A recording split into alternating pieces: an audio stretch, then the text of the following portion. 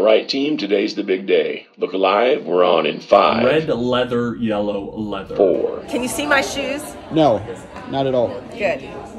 three, Michael Gonzalez, CSU Pueblo, played college soccer. Sophia Davis, teaching at Pennock Elementary School. two,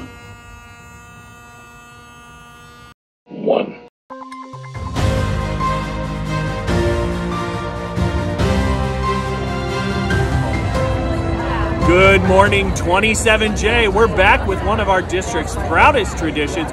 Janet, tell us what's going on. Today we're welcoming over 200 new teachers to 27J. You got that right, Janet. It's the 27J red carpet. There's the whole school, Riverdale Ridge High.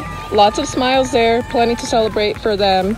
They're opening one of the three new STEM CTE centers in 27J this year. There's the Discovery Dinosaur, the mascot for 27J's first K 8 magnet school, opening this year in Thornton. Now let's check in with our red carpet correspondent, Lauren. Then we got the red carpet rolled out for you guys this morning. How did that welcome feel? It was awesome. I felt really welcomed. It was um, just felt like I had a lot of support walking in. It was really cool feeling. This is very impressive between the cheering and the, the gift bags and everything going on. It's pretty awesome.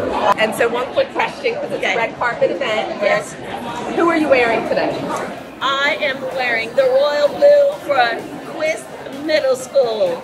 Who, Who am I you wearing? Oh my wearing? gosh. Who am I wearing? It's the red um, I've got some Macy's and I think some Goodwill on here. That's what I'm rocking today. Awesome. Oh my gosh, Temu.